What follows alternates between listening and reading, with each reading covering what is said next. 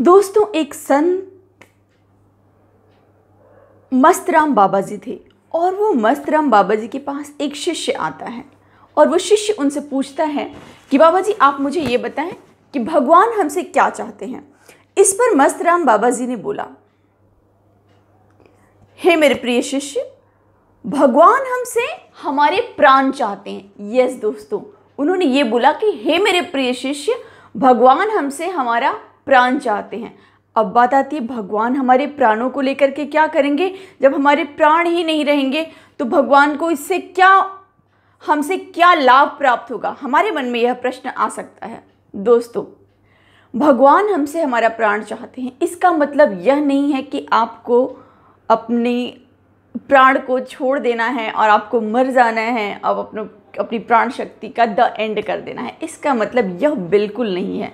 इसका मतलब दोस्तों यह है कि भगवान हमसे बहुत प्रेम करते हैं। हमारे जो भी परिजन हमारे आसपास हैं, जो भी हमारे दोस्त और मित्र हमारे आसपास हैं, जो भी रिलेशन्स हमारे आसपास हैं, वो पति पत्नी का हो माँ बाप का हो भाई बहन का हो, चाहे जो भी रिश्ते की आप बात करिए, उनमें सबसे ज़्यादा अगर हमें कोई प्यार करता है, प्रेम करता है तो वो भगवान है।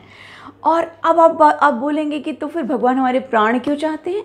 क्योंकि हर एक इंसान जो आपसे प्यार करता है, वो आपसे क्या चाहता है? वो आपका पूरा अटेंशन आपका पूरा समर्पण चाहता है और ईश्वर भी हमसे कहीं ना कहीं यह चाहते हैं।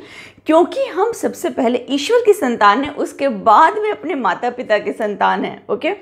और जो भी हमारी ड्यूटीज़ बाकी लोगों के प्रति इस दुनिया में आने के बाद होती है, उनके साथ जो भी हमारा संबंध है। अब दोस्तों, इस पे जो है थोड़ा सा और प्रसंग डालते हुए उस स्वामी जी ने बोला कि भगवान हमसे हमारा प्राण चाहते हैं। इसका मतलब यह है कि जो भी कार्य हम रोज़मर्रा के जीवन में करते हैं, वो सब हम भगवान को समर्पित करके करें। फॉर एग्ज़ाम्पल अगर आप सुबह सो करके उठ करके अपने घर में झाड़ू करते हैं, अपने घर में आप जो है मॉप लगाते हैं, पोछा करते हैं तो उस कार्य को भी आप इस प्रकार से करें कि आप भगवान के मंदिर में सफ़ाई कर रहे हैं। अगर आप अपने आप को स्वच्छ कर रहे हैं या आप नए कपड़े पहन रहे हैं या आप अच्छे कपड़े पहन रहे तो उस समय भी आप इस प्रकार से अपने आप को ट्रीट करें कि आप भगवान को वो कपड़े पहना रहे हैं या आप भगवान की सेवा कर रहे हैं। मतलब जिस किसी की भी हम सेवा कर रहे हैं, जिस किसी के टुवर्ड्स हम चाहे जो कार्य अपने हाथ में ले रहे हैं, उस कार्य में हमें ईश्वरत्व को देखना है और हमें यह समझना है कि ईश्वर ने इस कार्य की ज़िम्मेदारी हमें दी है तो हम इसको पूर्ण रूप से और अच्छे तरीके से करेंगे। अब दोस्तों, इसका तात्पर्य एक और आता है, वो ये आता है कि जब हम दोपहर में लेट्स कंसिडर अगर कोई हाउस वाइफ है और वो दोपहर में अपने घर के लिए खाना बना रही हैं, या अपने बच्चों को खिला रही हैं, या वो अपने पति के लिए भोजन बना रही हैं तो अपने परिवार के लिए भोजन बना रही हैं तो उस समय उनका जो समर्पण होना चाहिए, उनके कार्यों में वो इस प्रकार से होना चाहिए कि वह ईश्वर की सेवा कर रही हैं, ईश्वर के परिवार के लोगों की। और जब यह भावना हमारे अंदर आ जाएगी तो काम काम नहीं रहेगा दोस्तों। वह एक बहुत ही, मैं बोलूँगी कि बहुत ही वृहद सोर्स हो जाएगा हमें जीवन को एंजॉय करने का और हर एक चीज़ में मीनिंग्स को निकाल लेने का। दोस्तों, अगर आप जॉब करते हैं, कहीं पर आप नौकरी के लिए जाते हैं तो उसका तात्पर्य क्या है? उसका तात्पर्य यह है कि आप उस कार्य को, जो कार्य आपके हाथ में है, जिससे आपके घर की रोज़ी रोटी चलती है, उस कार्य को आपको ऐसे लेना है कि ईश्वर ने खास कर आपको उस कार्य के लिए निमित्त बनाया है। और अब आप उस कार्य में अपना हंड्रेड परसेंट नहीं माय डियर फ्रेंड्स आप अपना वन थाउज़ेंड परसेंट देंगे। दूसरी बात आती है अगर आप एक बिजनेसमैन है, एक ऑन्टरप्रनर हैं तो आपको अपने बिज़नेस को ऐसे लेना है और आपको अपने एम्प्लॉयज़ को, अपने कस्टमर को इस प्रकार से डील करना है जैसे कि आपको ईश्वर ने इन लोगों को आपके पास भेजा हुआ है संभालने के लिए और इनको बेस्ट टू बेस्ट सर्विसेज़ प्रदान करने के लिए, आपका बेस्ट देने के लिए तो आप अपना बेस्ट इन लोगों को दो।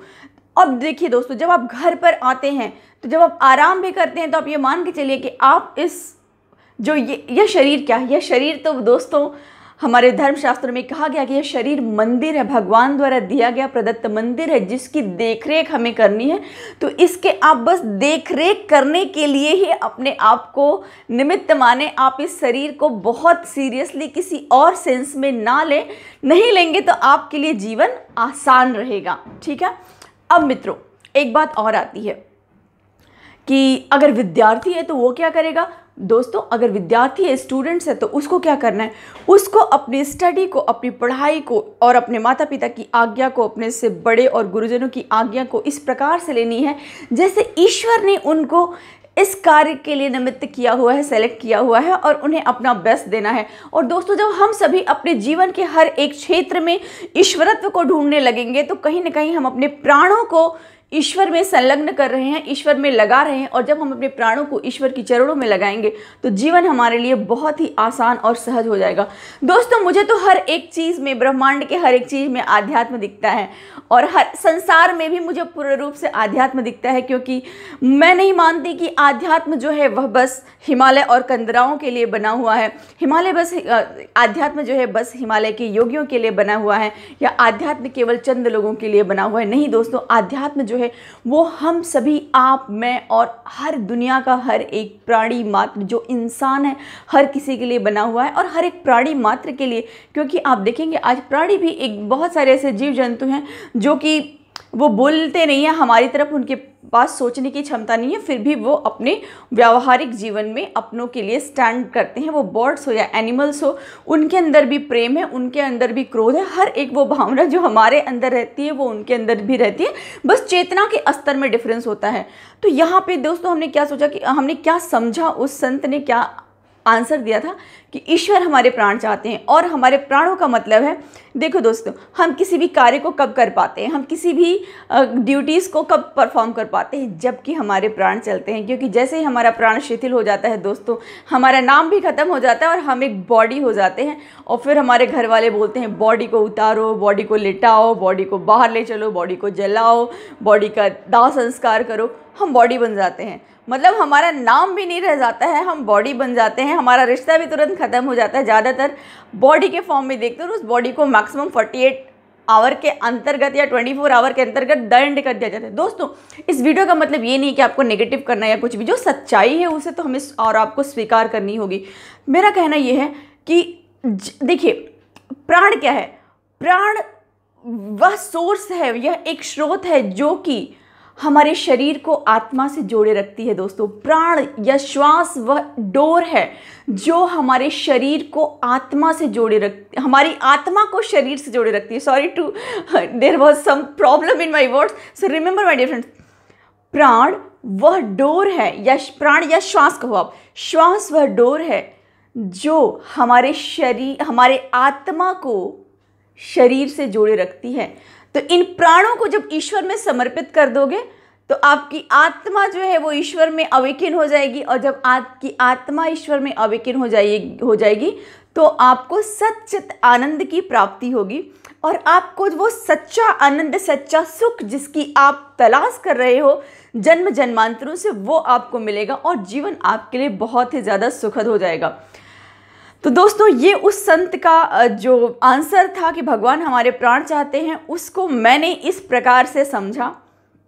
और मैं मेरे मन में ये धारणा थी कि मैं आपको इससे शेयर करूँ, शायद आपको भी अच्छा लगेगा। तो दोस्तों, जिस चीज़ को आप बहुत ज़्यादा प्यार करते हैं, आप क्या बोलते हैं? तुम जो बोलो, मैं वो करूँगा। तुम्हारे ऊपर सब कुछ न्यौछावर। तो मैं बोलती हूँ, एक बार आप ईश्वर को ये बोल कर देखिए।